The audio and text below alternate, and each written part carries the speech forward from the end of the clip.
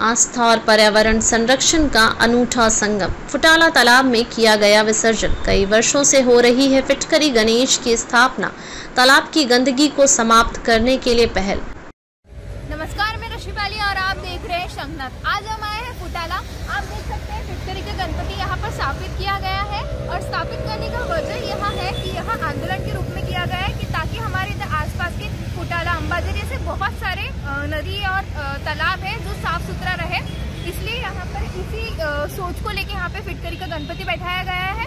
पर्यावरण रक्षक संगठन मोर्चा फिटकरी गणेश जी का स्थापित किया है।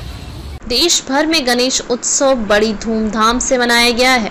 दस दिनों तक भक्तों ने बप्पा की बड़ी श्रद्धा और मनोकामना से पूजा की। गणेश उत्सव केवल धार्मिक नहीं, बल्कि समाज को एकजुट करने वाला पर्व भी है। दस दिनों के हर्षोल्लास के बाद आज विसर्जन का दिन है। बप्पा की विदाई हमेशा भावुक कर देती है, लेकिन अगले साल फिर उनके स्वागत की खुशी रहती है। कि बाकी गणपति का महत्व, मट्टी का या जो भी पीओपी का, जो भी मेटेरियल का बनाते हैं, उससे जब हम उसको विसर्जित करते हैं तो तालाब या जहाँ भी विसर्जित करते हैं, वहाँ गंदगी बढ़ती है, क्योंकि उसमें केमिकल्स पेंट वगैरह का यूज़ होता है।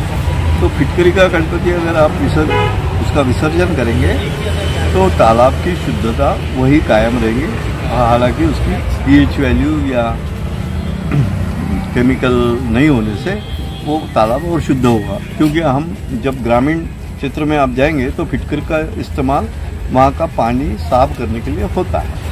प्रशासन के आग्रह के बावजूद बड़ी संख्या में भक्त गणेश प्रतिमाओं का विसर्जन तालाबों में ही करते हैं, जिससे जल प्रदूषण बढ़ता है। इसे ध्यान में रखते हुए पिछले कई सालों से फुट फुटाला स्थित पर्यावरण रक्षक संकट मोचक फिटकरी गणेश मंडल द्वारा फिटकरी गणपति की संकल्पना को आगे बढ़ाया जा रहा है। तालाब के शुद्धिकरण के उद्देश्य से फिटकरी के गणपति की स्थापना की जाती है। इस परंपरा की शुरुआत 2000 में हुई थी। यह जानकारी गणेश मंडल के संस्थापक सचिव अनिल अवस्थी ने दी।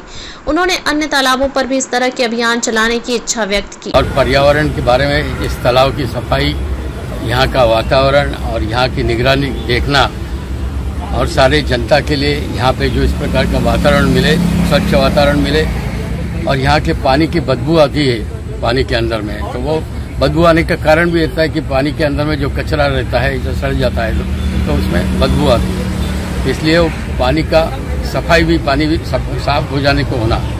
तो उस दृष्टि से ये कल्पना सबके मन में आई और पर्यावरण और जल शुद्धिकरण इस विषय को लेकर नागपुर में हमने एक जन आंदोलन खड़ा किया। संरक्षण समिति जो है फुटा तालाब इस नाम से अभी, और ये अभी धीरे धीरे हमारा ये आंदोलन नागपुर के बाहर भी जा रहा है। शंखनाद न्यूज़ के लिए नागपुर से लक्ष्मी पाली की रिपोर्ट।